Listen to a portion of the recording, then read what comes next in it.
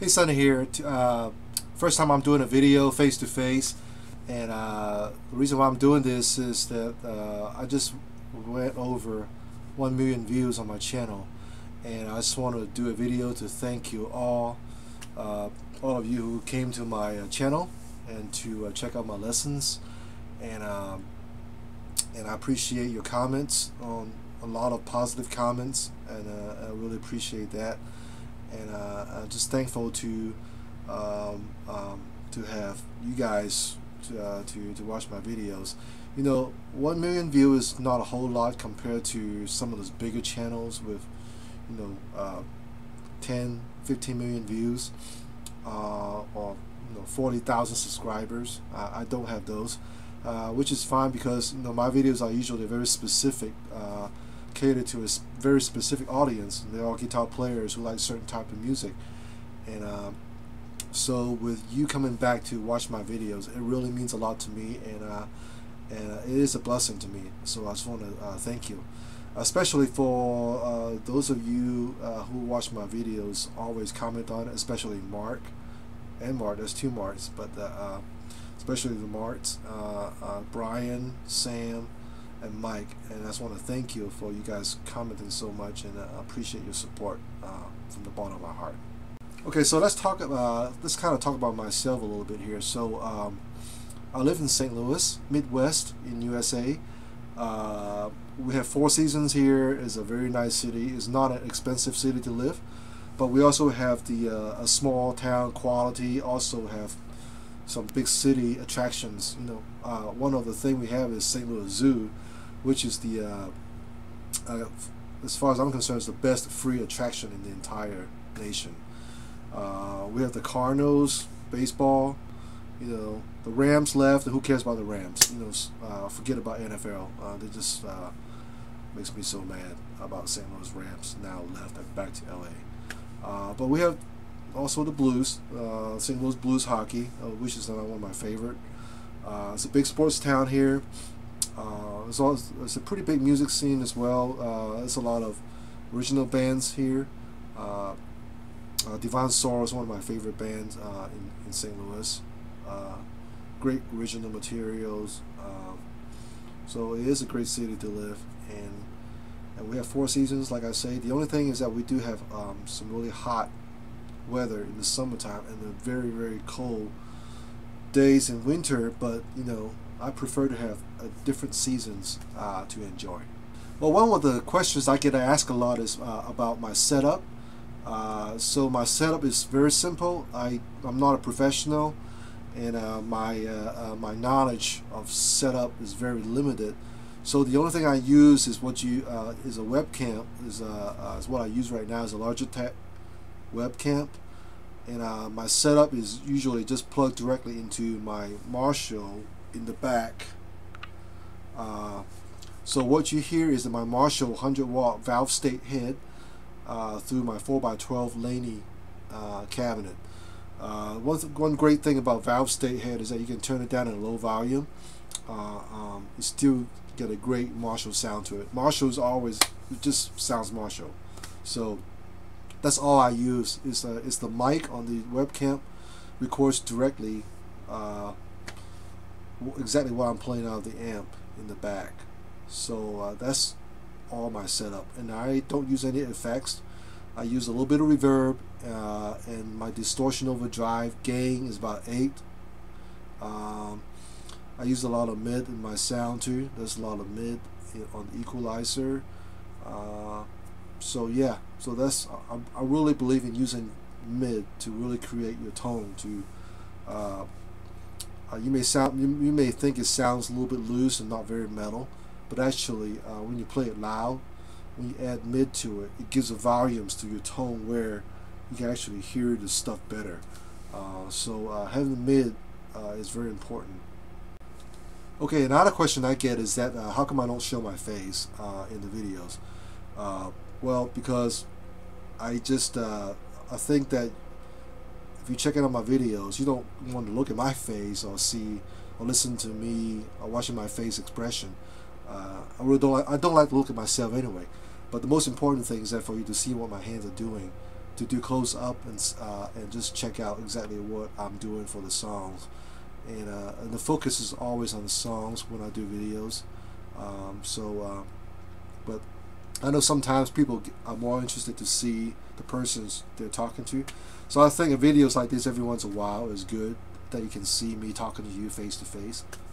So as far as my uh, teaching method is concerned, uh, um, hopefully that I think that I'm a, I'm a little different than a lot of teachers on, on, on the uh on YouTube.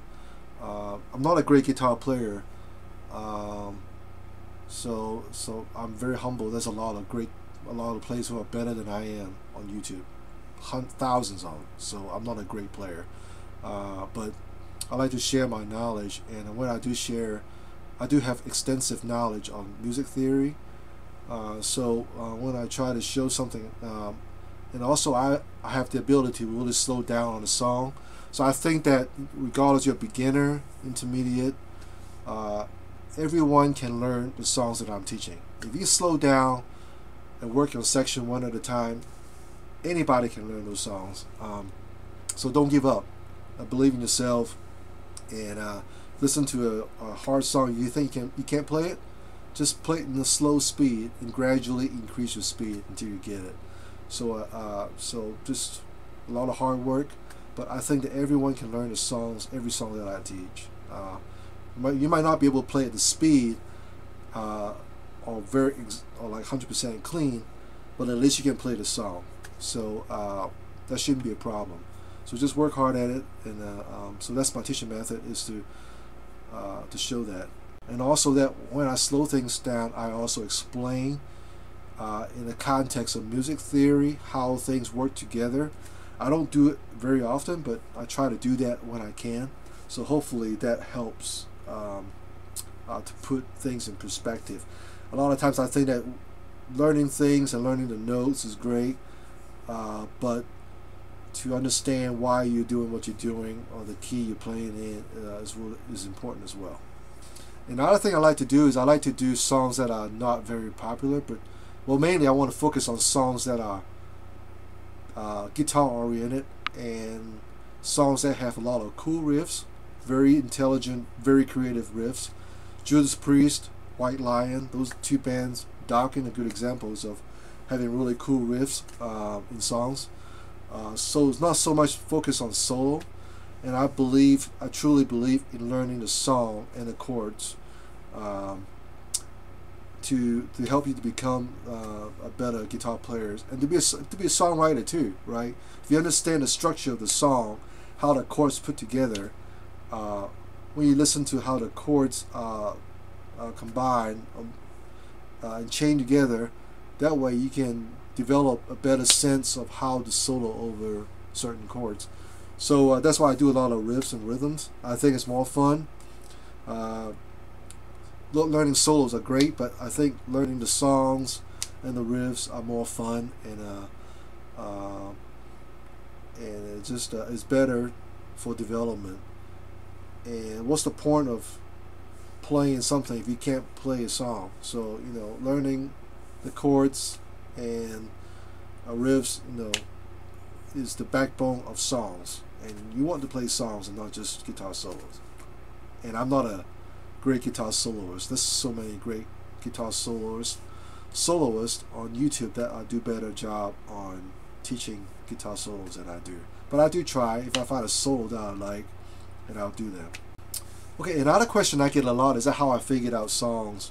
Um, several things that I do. I I do look at tabs on ultimateguitar.com and uh, books and study them. Uh, sometimes you can't find tabs. Sometimes the tabs are completely wrong. Uh, but regardless, tabs will give you an idea uh, how the songs are, how the songs should be, even though that they may be wrong. That's a good starting point. Uh, so I always look at like two, three different tabs. If there are different versions of tab, I look at it to see what the difference is. And the next thing I do is I look at, uh, I watch the artist videos, live videos thank just thank you for YouTube that you are able to that we are able to see all these videos of uh, musicians that we like and um, up close and uh, we can watch their hands, especially guitar players. You can play the same note, but it sounds different and it plays differently. For example, you can play the A note on the fifth fret on low E string, or you can play the open A string. Completely different sound uh, and a completely different way to play. So watching the artist where the hand is located on the neck uh, would give me clues to exactly how he plays that song uh, and how to learn that song accurately from learning perspective. Um, another thing that I do is I use uh, a software that will slow down the songs. Amazing Slow Down is a great software that will slow slow down the song to about 30%. That way you can gradually work your notes and work your songs from the slow pace to fast pace, uh, especially the fast runs. Uh, for me, for me, I think most people can only remember a fast run, maybe three to five notes. So you want to uh, break it down and just listen to a slow tempo on a fast solo. S stop uh, after four or five notes and try to get those down first and then go to the next four or five notes. It's a very tedious process. It's section by section. Uh, so that's, I think that's the best way to learn a song from scratch. Uh, so use those three things. Tabs, watching videos of the original musicians, and using some software that will slow down the song. And that will pan left or right. Okay, one thing that uh, um, that I mentioned in my uh, about me page is that I don't do requests. Uh, I find requests uh, stressful because I feel like I'm obligated to uh, to do something, and there's so many people that you know there'll be a lot of requests. But I do greatly appreciate suggestions. Not that I don't take your request, but you know whatever you suggest, I will seriously consider, and I'll probably end up doing it anyway. But when I say I don't take requests, I uh, that way I don't feel like that I have the pressure to have to do the song, and it won't be in the back of my mind all the time to to feel requests, and I don't want to get in that position. I want it to be fun for me. Uh, if it's fun for me, hopefully it's fun for you in learning. So with that being said, uh, again, uh, happy Labor Day weekend. This is a long weekend in America, uh, so it's a three days weekend. Um, so uh, just happy Labor Day weekend to all of you guys who are in in the U.S. of A. Uh, I love this country. It's a great country country to live in, and I don't take it for granted. Uh, you can see that I am not from around here, uh, uh, but uh, I do love the USA and I love the, the freedom. next up is that I I'm gonna do a video right after this one. I'm gonna do a Powerslave by Iron Maiden, just a riff, because I realized today is the 32nd anniversary of Powerslave, which is my favorite Iron Maiden album, uh, because that was the one that came out that really influenced me when I was first learning music about heavy metal. Um, and then I'll probably do a few worship songs. Uh, I uh, I do lead worship at church on the weekend.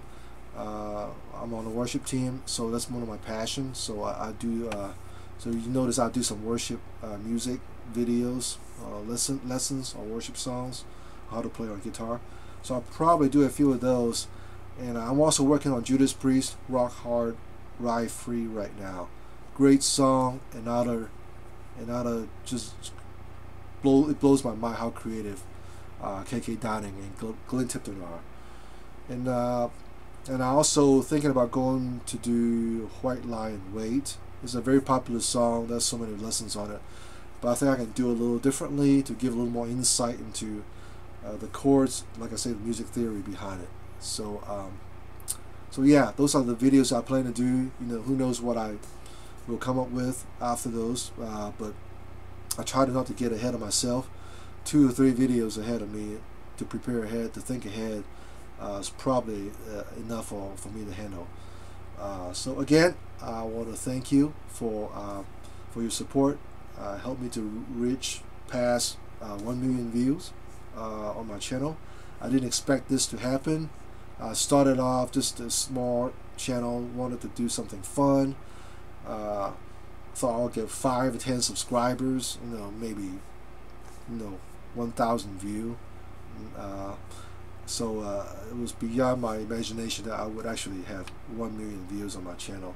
So I want to thank you for all your all your support. Uh, please feel free to comment. Uh, since I don't have thousands of subscribers, I try to uh, I try to respond to all the comments that I can. Uh, so again, happy long weekend, and for those of you for those of you who are overseas, thank you for your support as well. Uh, you guys have a nice weekend as well. So uh, thank you.